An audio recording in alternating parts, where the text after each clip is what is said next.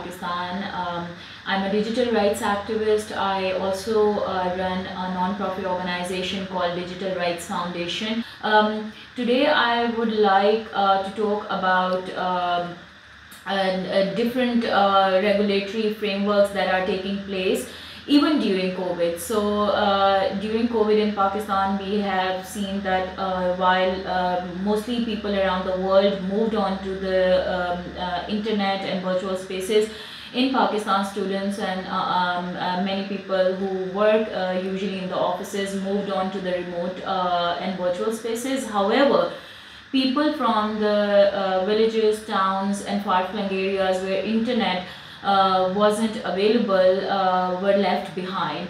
So the issue of digital divide uh, came out as a big uh, main issue which the government was supposed to focus on. But what we noticed that uh, more focus was on uh, initiating and introducing more regulations around controlling internet. The one that we uh, we are seeing uh, right now is uh, with the name of online harms rules, which basically regulate more um, content around internet and pose threat to the activists, journalists, human rights defenders around their uh, freedom uh, on um, uh, freedom to free speech and expression.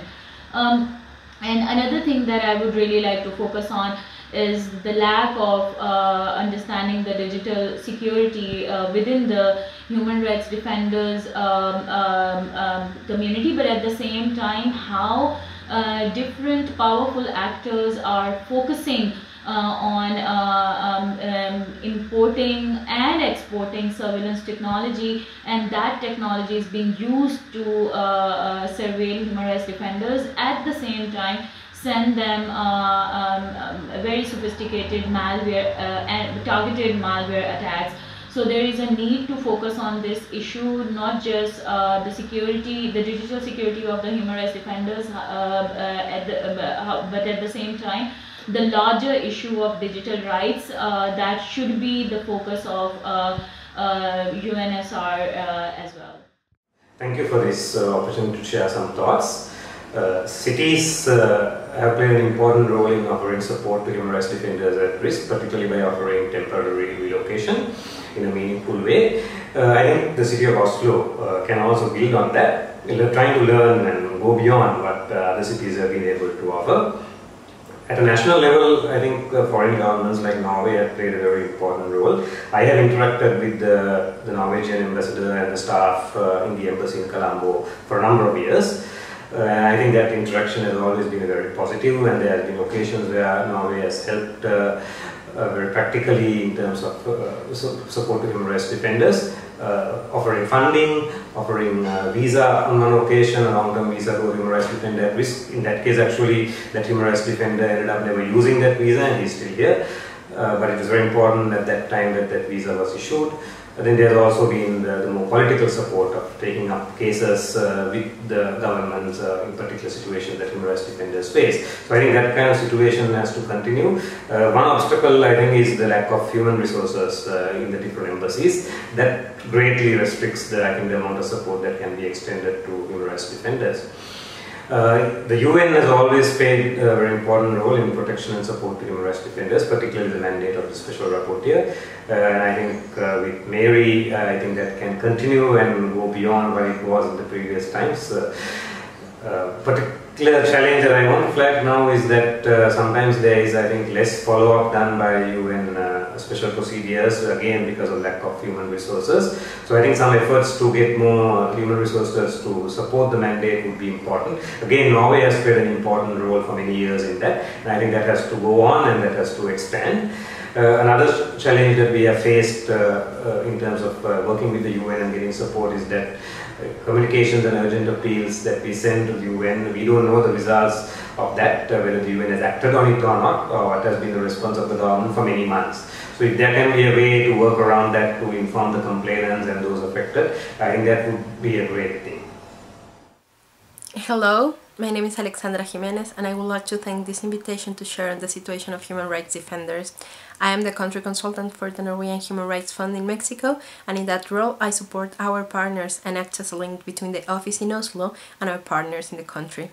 Most of our partners are human rights defenders in the first line. They are environmental defenders. They are indigenous peoples fighting to defend and preserve their ancestral land and cosmovision. They are women defending women's rights and increasing their participation. During this time of pandemic, most of them have been supporting their communities, addressing the rights to food and health, facing enormous structural challenges in the access to rights and justice. Some of them are also facing serious risks for their lives, for their communities and their families. Mexico was already amongst the most dangerous places for being a human rights defender or journalist. However, the pandemic has exacerbated the risk and inequalities for them. The restrictions have limited their action and affected their vulnerability. The most affected have been the land and environmental defenders, women defenders who are exposed to experimental double risk, and people who is, who is defending the civil space. More than ever, we need the international community to permanently monitor the situation of human rights defenders and keep encouraging to adopt and, and implement effective laws and mechanisms to protect defenders, to make public calls on specific situations that affect their work and life. I'm going to mention six specific key issues for the states and the international community. First one, to ensure that governments, companies, and other non-state actors recognize communities and human rights defenders in a broad term, including members of civil society organizations, political activists, environmental defenders, and journalists. Second, to keep a focus on the most vulnerable during this pandemic, assess the specific risk, and implement a gender and intersectional perspective on security. Third, to end impunity and prevent attacks against defenders by addressing and embracing their causes.